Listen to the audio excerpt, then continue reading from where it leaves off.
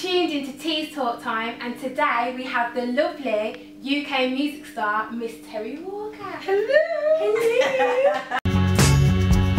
That wanna crucify me for being a believer.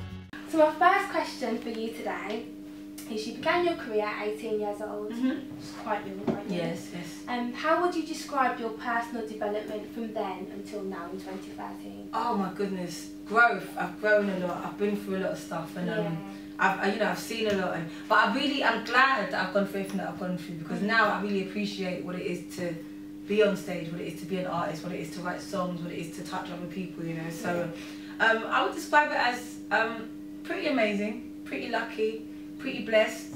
And something that I'm gonna keep carrying doing, you know. I I see myself still growing, so it hasn't stopped really. Um, the funny thing is, Lady, because it's like a collaboration project, and Yeah. we did it with Truth and Soul. I don't know if you know who they are, but they did um, Aloe Blacc. You I know I Andy know Dollar. Yeah. Ah, yeah, yeah. they produced that whole album. So, Okay. and obviously they've been sampled by a lot of people like Jay Z and and J Cole and stuff like that. So whatever they do, So big. yeah, mm, yeah. But, but they're understated big, which is cool because they're kind of like you know they're big, but they keep themselves quite in the background. And I'm kind of quite similar in that sense where you you hear me more than you'd see me. Yeah. Because I like to be more about, I want you to hear the voice, the lyrics, and the music more than worrying about, oh, look at me, do you know what I mean? And I think um, when we did Lady, the guys came up, because we were going to call it Walker Wray, because I don't know if you know guys know who Nicole Wray is. Do you remember Nicole Wray? Mm-hmm. Yeah, Nicole Wray, look, she's amazing. She used to be Missy Elliott back in the day, so she's like, why you all in my crown? Do you remember that song? She's like, damn it! She said, you know, I know you.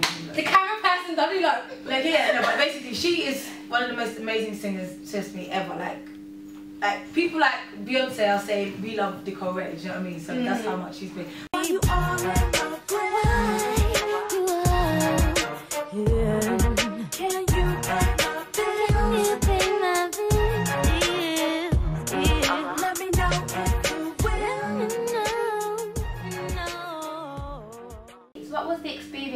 Of doing the collaborative album with Nicole Wray? Oh, amazing! Because it's like singing with myself. Like we've both got Wow. quite the same um, history because Okay. we both signed to Def Jam around the same time. Yeah. We both kind of left the label around the same time. We Mhm. both went for a little break in the sense of just being around family and friends and you know everything that she's gone through, I've gone through, Mhm. but on the other side of the world, which is kind of crazy. You know what I mean? So working with her when we sing together, without even thinking about it, we just blend in the right Yeah. way and it just works. You know? So It's nice to work with. you. Yes. It's easy to work with. totally. So during your musical journey, you know, you've had your fair share of ups and downs, obstacles that you've experienced like everyone else yeah. does in that industry, from poor management as well. Yes. Your profile, a lot of poor management. But what has helped you stay consistent? Because you've come back with a bang, you're here today, you're performing, you're headlining your solo QC, Mm, which is mm, amazing. Mm. What has helped you to be consistent and determined to carry on? Do you know what? Staying positive Yeah. and having positive people around you that tell you the truth, that want you to grow, Mm. that love you, do you know what I mean, that you love as well, and just keeping keeping yourself grounded. Don't get too caught up in all the glitz and glamour of things, you know. Really do it because you love it. And Yeah. for me, because I love it, I think that's what kept it safe for me. I think if I didn't love it, I probably wouldn't be doing it right now because there's a lot that goes on to do this, you know. So. Yeah. And it's just understanding endurance and just and realise that you're that you're always gonna keep growing. You don't ever stop growing. Even when you're 50, you're gonna still grow. So that's what I would say.